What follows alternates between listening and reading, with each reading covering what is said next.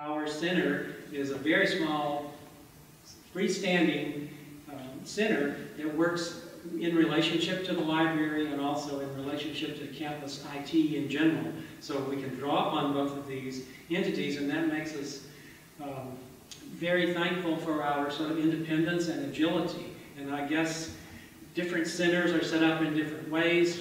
Uh, part of what I was asked to talk about are some of the reasons why the structure, the infrastructure we have, seems to work well for digital centers. I think we've been very fortunate in having a vice provost who is head of information technology, who is also an organizational psychologist, and he helped us work out this structure uh, so that we can have a sense that we're not always chasing after the soft money or ask, indeed asking for volunteers. And I know it's a difficult time given the general retrenchment and um, hard times for a lot of public universities, especially public uh, operations, to sustain projects, but I will just again say we're thankful for this independent funding that we have. It enables us to do a lot of things. When we were first created, our, our mission was to move digital scholarship from the periphery of the university to the center of the, of the university, and I think we've done that. I would show you a video uh, about the center, but I think after David's talk, it would be like a Disney World uh, experience. I, I won't show you that video. I think the video is still used to recruit a lot of professors, uh, students, uh, who are still somewhat weary of this thing called digitality, and particularly in some established fields, history, literature, we've had some good luck with attracting faculty in other areas, not so much, but I think part of our mission was to suggest to a number of people in the humanities that yes, this thing called digital scholarship is with us, it's likely to stay for a while, we can help you make it work for you, and we can also teach you how to use the tools so that it's not just to come in and drop off your materials and take them back with a site that we made for you, but it's also a, an effort to teach you how to use the tools themselves. So we did have a team of people, and maybe I should show you that.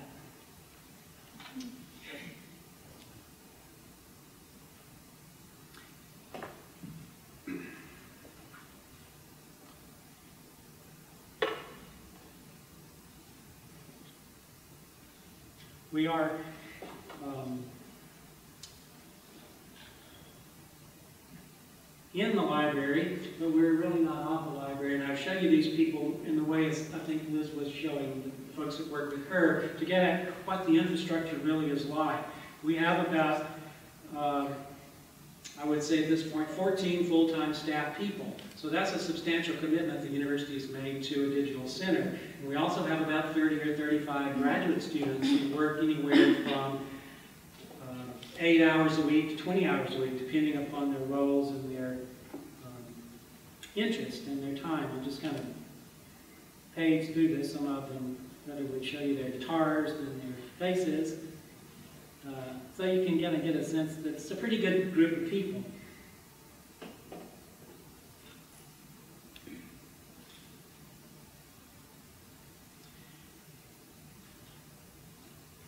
And we do a lot of projects. If you want to see more about the center, you can check our site. And we have, I don't know, maybe we've done 100 or 150 projects, and we have a lot of projects going on at one time. Part of the idea of our creation is also this notion of public scholarship in the sense that the sites we make tend to be sites that people who are scholars want to have more accessible to a general audience. So we believe in open access open source materials where possible. We collaborate with faculty and graduate students, with other institutions. We have uh, a wonderful collaboration going on with UNC Press and, and John's uh, team to uh, do some projects in digital scholarly editions under a platform that we're making called Readux. Um, and we also are reaching out to other kinds of organizations to build these collaborations in the way that David suggested through these notions of consortia, so you get several institutions together contributing to projects. I think the other way to think about sustainability, besides the example David's offering up, which we hope will work with the consortium idea, is that particular universities or institutions commit themselves based upon the strengths of their collecting materials in the libraries, between uh, upon the strength of their faculty and research areas, graduate student strengths, so that you pick a project or two and commit to that project. It's not that every university can take on 10 or 12 projects, but we have several that we've made these long-term commitments to. The, Atlantic Slave, Trade Database is one. Southern Spaces Journal is another, which now has, uh, which Catherine and Martin and I founded now 15 years ago, um, and as an experiment in doing digital journal publication, but we can also publish in extremely long form uh, formats as well on, on Southern Spaces. But the idea is to try to get faculty to work with grad students, you train the grad students, and on the Southern Spaces side, uh, we actually have a program set up so that graduate students are functioning as editors of the journal. And they come in and they learn how to work with authors, and they learn how to do layout, and they work on platform design and redesign as we migrate, as, you, as we have to do every five or six years to the next platform or the next stage. But the grad students are learning how to do this work, and it gives them skills in which they can then go out and add that to their dissertation. And we've had really good luck. I would almost say 100% success in helping our grad students who've worked at the center to get uh, jobs in fields where their digital skills are now quite useful and quite um, in demand.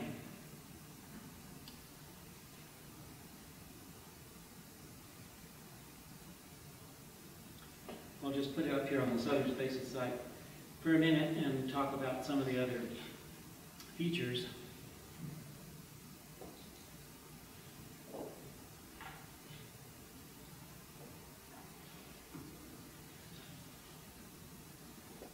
When you go to create a new publishing project in digital scholarship, I think one of the things you look around to see is there a particular niche that might be filled or a particular kind of change that has happened in the scholarship that requires a new platform. And with projects that we've launched into um, journal formats, we've done one called the Journal of Rehabilitation in Humanities, which is really not about rehabilitating the humanities, but it's about the use of uh, humanities, poetry, dance, music in, in the actual medical practice of rehabilitation. So that, there was not a journal that existed there. So we helped people in medical school create that uh, particular journal. Also when uh, Deborah Lipstadt, who was on trial in the Holocaust trial, uh, Holocaust denial a few years ago, she had accumulated an enormous body of material related to the history of Holocaust and Holocaust denial. And there was no such site that existed, so we put up that site for her, and graduate students again learned how to, how to do these projects. And similarly with um, the Southern Spaces site, there really wasn't a, a, place that was doing a sort of critique to say, uh, this notion of the South really isn't a region. We've got to talk about regions within an existing imagined space of the South, and there really wasn't a place doing that. Plus, we wanted to have some experiments with multimedia, video, audio, images, maps, all of those things. That, so if you look at the Southern Spaces articles, this kind of represents, in some sense, our take on how to do digital journal projects. It's peer-reviewed. It also has blog posts and book reviews, and we could go into any of these, and hope you will. Uh, documentaries, we can do full-length documentary pieces that folks have put together. And it's sustained, again, by staff of students, although we do have some faculty um, advising and working on it. The other thing I think to think about, too, is the way in which um, tools and platforms, how many of these can you create or make? And we have decided not to take on that so much. Uh, there are other places that do a lot of that work. We do have a commitment as we're working with uh, John and UNC Press on this uh, scholarly platform called Readux, which is a way to take primary materials, um, create facsimile versions of them, have them OCR, and then create a scholarly digital apparatus to annotate those and then publish them online. So you end up with an online scholarly edition. You can also have a hard version to go with that. And this is a project, again, we looked around and nobody else was doing this. So we're into that pretty far away, and there will be several volumes published in this series um, called Sounding Spirit, which will be a history a critical edition of American religious music as it came out of the U.S. South, quite in African American and Native American traditions. And those will be published with UNC Press and as a, as a Readux online platform as well. The other ways we help to try to document perhaps and keep things organized, we use this workflow uh, system called Trello. If people know Trello, but it's free and it allows us to organize how things proceed through a project. And it's been very helpful for, for the whole Emory Center for Digital Scholarship, in which we, all of our various hundred projects are organized. We meet every other week and look at the Trello board and see where things are progressing and where things are not. But it's also useful for individual projects within the ECDS, uh, such as Southern Spaces, that you have a sense of how articles proceed through the workflow from first contacting authors to finally publishing or not publishing, rejecting pieces. And that leaves a trail of documentation. Again, it teaches students how to create documents so other people, if they're not going to be around for a couple of years, how can people who come in after them uh, go along and see what was done in terms of the documentation. And this would also work in everything, for instance, that we have on the Southern Spaces side. There's documentation on how do you do a video if you're going to go out in the field and, re and record a documentary or an interview. Uh, the steps for that are documented and kept in these platforms. We use other kind of platforms that I guess are pretty common in, in the digital world, like a Slack channel and the Pivotal Tracker uh, track, uh, platform, which has this very, uh, when I first encountered curious and unique notion of what a story is. If you've ever worked with Pivotal Tracker, their stories are not like our stories. But uh, in, the, in the creating of sustainability, we, we rely on a number of things while we're waiting for the ever-promised uh, repository, uh, digital repository. Everybody has a promised digital repository. Uh, you know, there's always the external hard drives, but you know, the David's project is also archived on Dataverse, and we have stuff on the Amazon Web, like, you know, the glaciers, glacial space that where things just go, and, and, hopefully, if you want to get them back sometime, they'll still be there. There are various cloud services and Emory servers that we also use.